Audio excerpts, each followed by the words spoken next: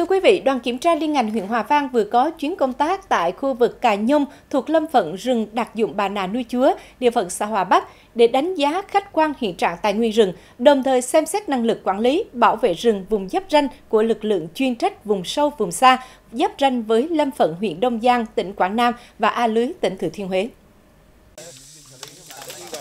Trạm quản lý bảo vệ rừng Cà Nhung chịu trách nhiệm quản lý bảo vệ hơn 4.700 ha, gồm 5 tiểu khu, tiểu khu 31, 33, 34, 37, 39, phía tây giáp xã Thượng Lộ, huyện Nam Đông, tỉnh Thừa Thiên Huế, dài 7,1 km, phía nam giáp xã Tư, huyện Đông Giang, dài 18,4 km.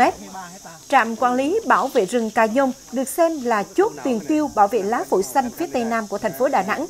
Ngoài nhiệm vụ quản lý bảo vệ rừng, đơn vị còn thực hiện chức năng đảm bảo an ninh trật tự, bảo vệ ranh giới, bảo vệ đất tài nguyên khoáng sản. Hàng năm tham mưu cho Ủy ban nhân dân huyện xây dựng các, các phương án chỉ đạo các các kiểm các cái chủ rừng à, tập trung tuyên truyền vận động à, trong nhân dân và kể một số các cái chủ rừng à, Ủy ban nhân dân các xã để tập trung xây dựng công tác quản lý bảo vệ rừng, à, phát triển vốn rừng. À, phải nói rằng trong những năm gần đây là riêng rừng Hòa Vang là mà phát triển hẳn lên à, từ 15.000 hecta rừng giàu à, theo thống kê mới đây là đến hiện nay là tới 19.000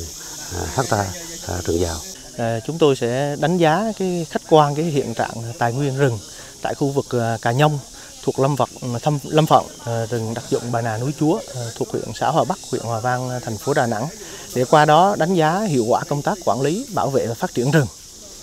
À, về một ờ, số cái giải pháp ờ, thì chúng tôi sẽ tập trung vào cái công tác là tuyên truyền, vận động người dân thực hiện đúng các quy định của luật lâm nghiệp, luật đất đai cũng như các văn bản hướng dẫn thi hành. À, cái giải pháp thứ hai là chúng tôi sẽ chỉ đạo các lực lượng như là công an, rồi kiểm lâm, rồi ban quản lý bảo vệ rừng phối hợp tăng cường công tác phối hợp để có những cái giải pháp là phát triển bảo vệ rừng tốt hơn trong cái thời gian đến. Tại đây, lực lượng quản lý bảo vệ rừng Ca Nhông luôn đối mặt với muôn vàng khó khăn, hiểm nguy, rình rập.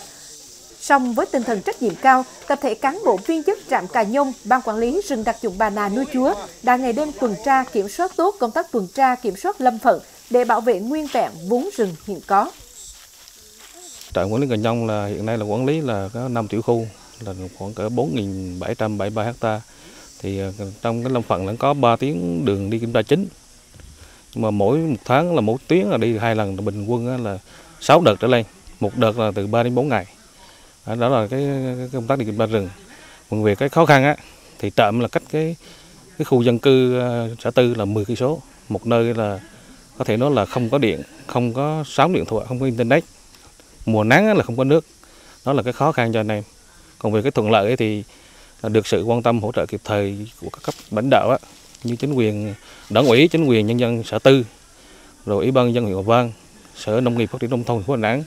chi cục kiểm lâm thành phố đà nẵng ban quản lý rừng trồng núi chúa. Là, là rất là quan tâm kịp thời ờ, để tạo động lực cho anh em là giữ rừng. Thì đến bây giờ thì cái trong lâm phận là không có cái điểm nóng xảy ra. Đặc biệt là hầm vàng 39 là hàng tuần là đi kiểm tra và, và có cái báo cáo cụ thể về cái ban giám đốc